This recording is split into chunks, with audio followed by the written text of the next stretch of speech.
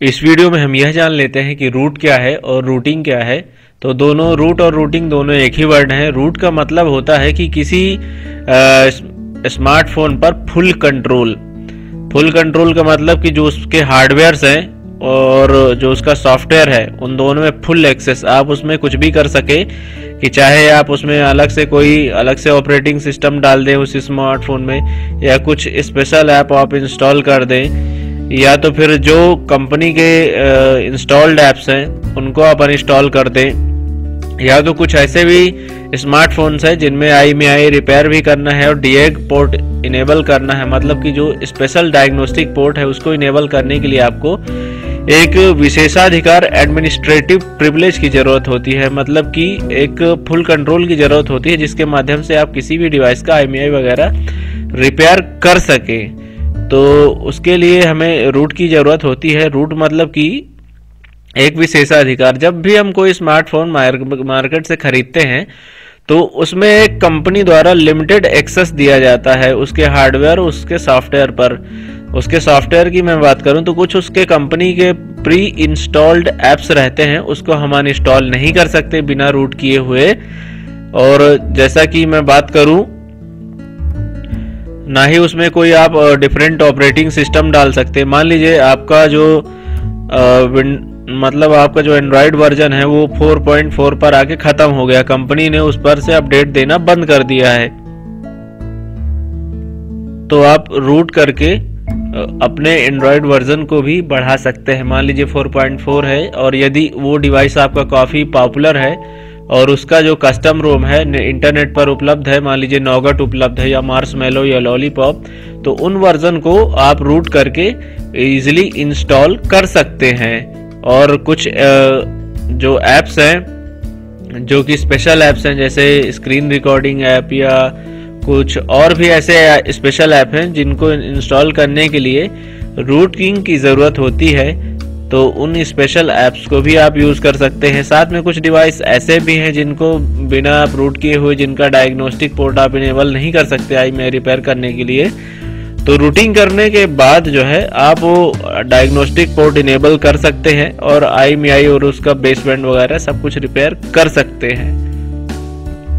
अब हम रूट के एडवांटेज के बारे में जानेंगे कि मतलब रूट करने के बाद हम क्या क्या कर सकते हैं। तो रूट करने के बाद आप किसी फ़ोन का सबसे पहले तो उसके प्री इंस्टॉल्ड ऐप्स को हटा सकते हैं। मतलब कि जो कंपनी के इंस्टॉल ऐप्स रहते हैं, जैसे कि मान लीजिए गैलरी हो गया, या कैमरे का ऐप हो गया, या प्ले स्टोर हो गया, या उसके कुछ सेटिंग से संबंधित जो चीज़ें हैं, उन्हें हम जनरली बिना रूट किए हुए अनइंस्टॉल नहीं कर सकते हैं। तो उन्हें हमें एडमिनिस्ट्रेटर परमिशन की ज़रूरत होती है। तो जब हम रूट कर लेते हैं तो हम एडमिनिस्ट्रेटर हो जाते हैं मतलब अपने फ़ोन के मालिक हो जाते हैं। तो उसके अंदर हम सॉफ्टवेयर में कोई भी बदलाव कर सकते हैं। उसके बाद जो है, हम स्पेशल ऐप्स को भी रन कर सकते हैं। कुछ ऐसे स्पेशल ऐप होते हैं, जो बिना रूट परमिशन के रन ही नहीं होते। मतलब कि जिनके जिनको रन करने के लिए एडमिनिस्ट्रेटर प्रिविलेज की ज़रूरत होती है तो रूट करने के बाद उन स्पेशल ऐप्स को भी हम रन कर सकते हैं। और जो अगला एडवांटेज है, वो ये है कि हम इसमें कोई भी ऑपरेटिंग सिस्टम डाल सकते हैं। मतलब एंड्रॉयड का कोई भी वर्जन आप इंस्टॉल कर सकते हैं। यदि उस डिवाइस के लिए इंटरनेट पर कस्टम रोम उपलब्ध है तो मान लीजिए कस्टम रोम से मैं यदि आपको स्पष्ट करूँ कि जैसा आपका फ़ोन है, वो लॉलीपॉप वर्जन से आगे का ऑफिशियल वर्जन उपलब्ध ही नहीं अपडेट कराने के लिए। तो फिर हम क्या करेंगे और हमको सेवन पॉइंट ज़ीरो यानी नौगट चाहिए है तो हम उसका इंटरनेट पर कस्टम रोम फाइंड आउट करेंगे। यदि नौगट उपलब्ध है तो उसको हम पहले रूट करेंगे।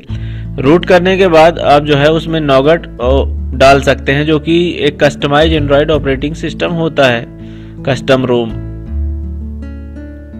रूट करने का जो और अगला सबसे बड़ा एडवांटेज है मतलब कि जैसा कई बार आपको आई में आई और सीरियल नंबर वगैरह चेंज करना होता है अपने स्मार्टफ़ोन का तो कुछ ऐसे बड़े स्मार्टफ़ोन हैं जो काफ़ी कॉस्टली स्मार्टफ़ोन है तो उनको आई में आई रिपेयर करने के लिए आपको स्पेशल डायग्नोस्टिक पोर्ट की ज़रूरत पड़ती है। वो डायग्नोस्टिक पोर्ट सिर्फ़ जो है एडमिनिस्ट्रेटर मोड में ही ओपन होता है। तो उसको ओपन कराने के लिए मतलब डायग्नोस्टिक पोर्ट इनेबल करने के लिए आपको फ़ोन को रूट करना पड़ता है। आप उसके बाद ही आई आई वगैरह रिपेयर कर सकते हैं।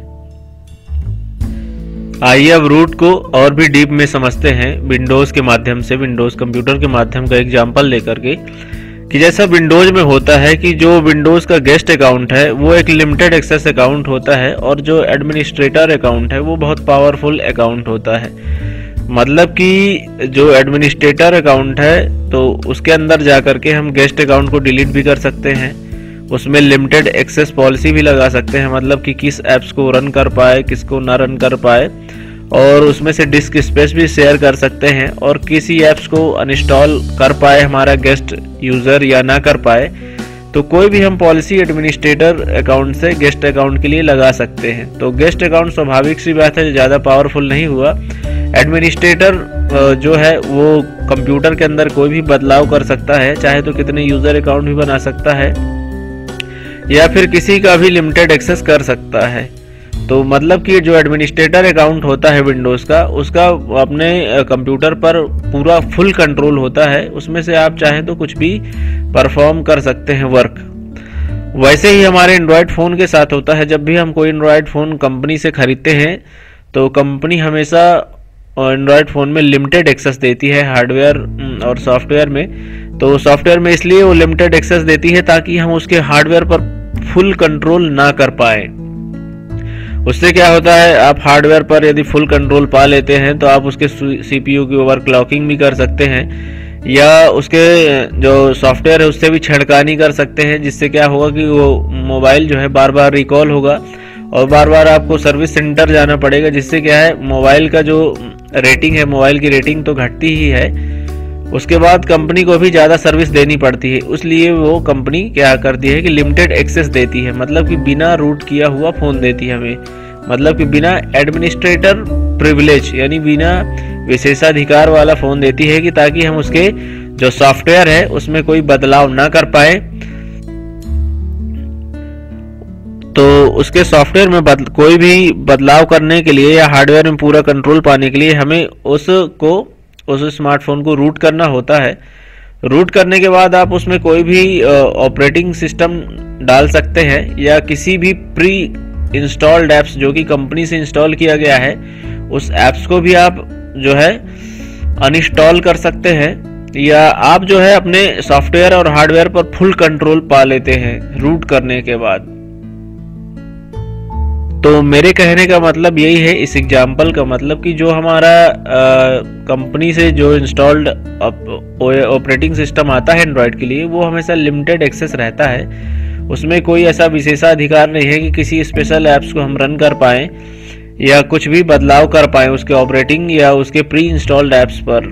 तो कुछ यही है रूट जिसको हमने कंप्यूटर के एडमिनिस्ट्रेटर से समझा। अब हम रूट के डिसवांटेज के बारे में जान लेते हैं। तो रूट का जो सबसे बड़ा डिसवांटेज ये है कि यदि आप अपने स्मार्टफ़ोन को वारंटी के अंदर यदि आप रूट कर देते हैं तो आपकी वारंटी जो है अवॉइड हो जाती है। मतलब कि कि जो आपकी वारंटी जो है, वो हमेशा के लिए चली जाती है। फिर अपने हैंडसेट को आप वारंटी में रिपेयर या रिप्लेस नहीं करा सकते हैं या रिपेयर नहीं करवा सकते हैं। उसका कारण ये है कि जो कंपनी ऑपरेटिंग सिस्टम बनाती है तो उसमें सिर्फ़ लिमिटेड एक्सेस ही देती है और रूट करने के बाद जो है आप अनलिमिटेड एक्सेस कर सकते हैं। मतलब कि एडमिनिस्ट्रेटर प्रिविलेज में जाके उसके हार्डवेयर को ओवर क्लॉक करा सकते हैं या उसके हार्डवेयर कंट्रोल से आप छेड़खानी कर देते हैं, जिस वजह से कंपनी जो है वारंटी जो है हैंडसेट की हटा देती है। तो फिर वो जो आपका हैंडसेट है वारंटी में नहीं आएगा। इसलिए जब तक आपका हैंडसेट जो है वारंटी में रहता है तो उसे हमें रूट नहीं करना चाहिए। उसके बाद उसके बाद जो अगला जो है, यदि हम उसमें कस्टम रोम इंस्टॉल करते हैं अपने स्मार्टफ़ोन में रूट करने के बाद तो ज़ाहिर सी बात है कस्टम रोम में जो काफ़ी सारे ऐप्स रहते हैं, वो अनयूजबल ऐप रहते हैं, वो ज़्यादा डेटा भी मतलब एक्सेस करते हैं, बिना किसी वजह के ज़्यादा डेटा एक्सेस करते हैं, दूसरा काफ़ी ज़्यादा वायरस आ जाते हैं, जिससे जो है सेट की स्पीड भी कम हो जाती है, आपको वर्जन तो बढ़ जाता है, पर कहीं ना कहीं आपको बैटरी में शिकायत आने लगती है, या कई बार सही से कैमरा नहीं काम करेगा, उल्टा कैमरा काम करेगा, या साउंड में थोड़ा बहुत इफ़ेक्ट समझ में आ जाता है तो कस्टम रोम में भी कुछ न कुछ कभी न कभी किसी भी, किसी हैंडसेट में प्रॉब्लम आ सकती है। आफ्टर दैट जब आप कस्टम रोम इंस्टॉल कर लेते हैं तो कुछ ऐसे हिडन एप्स भी साथ में इंस्टॉल्ड हो जाते हैं, जो कि जाके डिवाइस की सेटिंग्स में इंस्टॉल रहते हैं जिन्हें हम देख नहीं पाते हिडन टाइप रह, इंस्टॉल रहते हैं। वो आपकी जानकारी को भी शेयर कर सकते हैं किसी दूसरे सर्वर पर। मतलब कि आपकी जानकारी को आपको पता भी नहीं चलेगा और आपकी जो कुछ मुख्य जानकारियाँ हैं जैसे जीमेल है व्हाट्सएप है या फेसबुक है वो सब आसानी से हैक किए जा सकते हैं कस्टम रोम में। इसलिए कंपनी जो है कभी कस्टम रोम इंस्टॉल करने के लिए अलाउ नहीं करती या फ़ोन को रूट करने रूट करके नहीं देती यूज़र को। ताकि उसका कंट्रोल जो है फुल एक्सेस ना हो। तो अब हम ये जान लेते हैं कि किसी भी एंड्रॉयड स्मार्टफ़ोन को हम रूट कैसे करते हैं। किसी भी एंड्रॉयड फ़ोन को रूट करने के लिए हमें सुपर यूज़र जिप को फ्लैश करना होता है, पर उसके लिए सबसे पहले हमें बूट लोडर अनलॉक करना होता है। यदि किसी हैंडसेट को हम रूट करना चाहते हैं तो सब उसकी बूट लोडर सबसे पहले हमें अनलॉक करना पड़ेगा। बूट लोडर अनलॉक करने के बाद T W R P recovery को हमें फ्लैश करना पड़ता है। और उस रिकवरी को इंस्टॉल करने के बाद मतलब टी डब्ल्यू आर पी को इंस्टॉल करने के बाद, हम सुपर यूज़र डॉट जिप को कॉपी करते हैं इंटरनेट से डाउनलोड करके, जो की रूट फ़ाइल होती है। तो रूट फ़ाइल को डाउनलोड करने के बाद हम अपने मेमोरी कार्ड या अपने फ़ोन की ही स्टोरेज पर कॉपी कर लेते हैं। फिर रिकवरी मोड में जब हम फ़ोन को बूट कराते हैं तो वहाँ से फिर हम update install from H card select करके उस सुपर यूज़र जिप को इंस्टॉल कर लेते हैं, जिसके बाद से हमारा फ़ोन रूट हो जाता है। उसके बाद से हम उसमें कोई भी स्पेशल ऐप या कोई भी कस्टम रोम इंस्टॉल कर सकते हैं। और हम चाहें तो कुछ ऐप्स के माध्यम से अपने जो एंड्रॉयड स्मार्टफ़ोन है, उनको रूट करा सकते हैं। जैसे कि आपका किंगो रूट हो गया, या फ्लैशीफाई हो गया, या कुछ और भी अदर रूटिंग के बहुत सारे ऐप्स आते हैं। कोई भी आप अंकल कोई भी ऐप्स आप डाउनलोड करके रूट कर सकते हैं। बशर्ते जो सबसे अच्छा तरीका है रूट करने का, वो T W R P install करके आपको सुपर यूज़र जिप से फ्लैश कर देना है तो जो आपका फ़ोन है, वो रूट हो जाएगा। पर उसके लिए बूट लोडर अनलॉक होना मस्ट है। पहले आपको बूट लोडर अनलॉक करना होगा, उसके बाद T W R P recovery install करनी होगी। और T W R P recovery install करने के बाद आपको सुपर यूज़र जिप से फ्लैश करना होगा। उसके बाद आपका जो फ़ोन है, वो रूट हो जाएगा। फिर उसमें आप कोई भी बदलाव कर सकते हैं उसके सॉफ्टवेयर से। अभी तक हमने एंड्रॉयड फ़ोन को रूट करने के बारे में जाना और उसके एडवांटेज डिसवांटेज के बारे में जाना और उसे रूट कैसे करते हैं ये भी जाना। पर अब हम ये जान लेते हैं कि रूट तो हमने अपने स्मार्टफ़ोन को कर लिया। अब उसे अनरूट कैसे करें? मतलब उसको कंपनी मोड में कैसे ले जाएँ? कि जो हमारा स्मार्टफ़ोन जैसा कंपनी से था, वैसा हम उसको, उसकी वारंटी दोबारा से पा सके। तो उसके लिए हमें उसको पूरा फ्लैश करना पड़ेगा होल फ्लैश करना पड़ता है।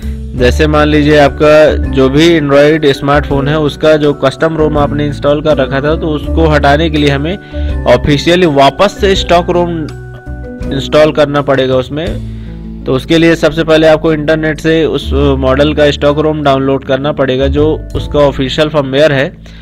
उसके बाद उस ऑफिशियल फर्मवेयर से उसको कम्प्लीटली फ्लैश करना पड़ेगा, और फ्लैश करने के बाद वो जो है तो सारा रूटिंग जो है वो हटा देगा और दोबारा से वो ऑफिशियली मोड में एक लिमिटेड एक्सेस में आ जाएगा। मतलब कि एक फिर से वो जो है, बिना रूट वाला ऑपरेटिंग सिस्टम हो जाएगा। जैसा कि कंपनी ने हमें दिया था तो कंपनी हमेशा कभी भी रूट ऑपरेटिंग सिस्टम तो देती नहीं। तो वो लिमिटेड एक्सेस वाला जो ऑफिशियल स्टॉक रोम है, वो हम इंस्टॉल कर लेंगे। तो हमारी वारंटी फिर से वापस आ सकती है। तो कुछ इस तरह से आप फ्लैश करने फ्लैश करके अपने मोबाइल फ़ोन को अनरूट कर सकते हैं। तो इस वीडियो में हमने यह जाना कि कैसे हम रूट करते हैं, कैसे हम अनरूट करते हैं और कैसे हम रूट करने के बाद किसी ऐप्स और कस्टम रोम को इंस्टॉल कर सकते हैं। तो इस वीडियो में इतना ही। Thanks for watching my videos thank you very much